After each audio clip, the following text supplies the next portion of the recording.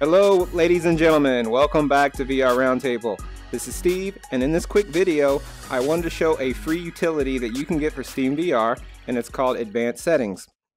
I have it pulled up. It shows up in your um, your your Steam VR menu along with everything else. You can see I have Steam and and my desktop and Revive. But Advanced Settings has a lot of settings, and it's convenient to access. You know, starting with the the Steam VR settings. Um, you have you can adjust your super sampling, which somehow got reset. I normally leave mine on 1.2, and you can you can restart it from here. Uh, but I'll wait till the next time I leave asynchronous reprojection on. Uh, and, and where it starts becoming more valuable, in my opinion, is your chaperone settings. You can adjust in the, the normal Steam menu, you can only adjust your chaperone visibility down to a certain percentage. Here, you can make it go completely away. So for some of those seated games or or certain experiences like a chair in the room where you just don't want to see your chaperone bounds at all, uh, you can force your bounds on, which I don't know why mine aren't on.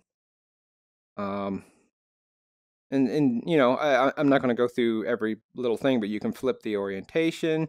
You can load uh, profiles. So I have a front facing towards my monitor when I'm recording things, and then a a rear for for when I'm playing. Uh, play space, you can really manipulate. I, I, I don't normally play with all of these, uh, but you can shrink it and expand it and do what you need. Floor fix, um, you know, it's what it says it is.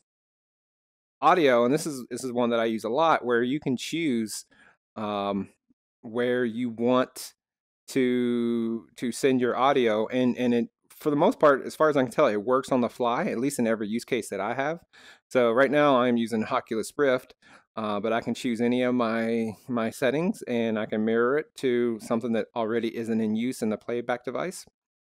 You can also choose your microphone. So if you were to use a, um, maybe you do Let's Plays videos and you were using a uh, lapel microphone,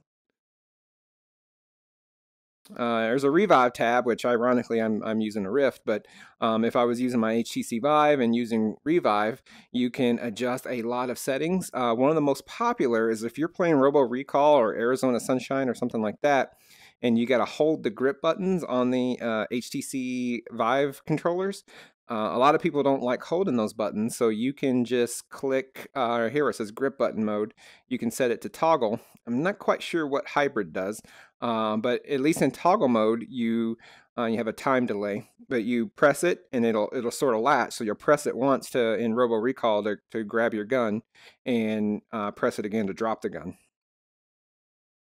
Uh, in addition to that, there are obviously some um, thumbstick thumbstick settings as described and controller offsets. The controller offsets, a lot of people, and, and I've noticed it as I've started to use touch, is that there's a slight difference in in in the way um, the angle you you can kind of adjust uh, some of the stuff here. And again, I don't personally uh, have a need for adjusting this, but uh, this is something you can play with and figure out what works for you. And just one more um, tip. Uh, ooh, looks like you can say profiles. Uh, one more tip though is if you are playing Rock Band VR, which I have not, I have read that you can uh, use some of these adjustments here to get it uh, right when you you effectively uh, tape or, or, zip tie your uh, Vive controller to the uh, Rock Band guitar controller. Um, you know, a few, you know, get some keyboard inputs, um, which, you know, is you know all the crashes and all the bugs that inevitably happen within steam vr there's always uh, times where you, you may need this sort of stuff and an alarm clock i thought it was a great feature. Um, here i don't play with accessibility but um, if you have a need for it.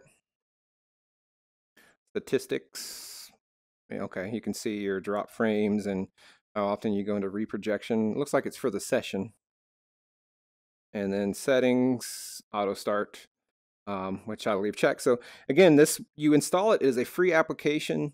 You um, there's really no reason to do it, and it is um, very, very, very helpful. And and I I found this by um, talking to a few people and realizing that they don't have this. They hadn't heard of the app, and I know it's well discussed on on Reddit, but uh, maybe if you're watching this video, you don't check out Reddit, you don't frequent it or frequent it, uh, or maybe you do and you just haven't uh, come across it. So it looks like it's called OpenVR Advanced Settings.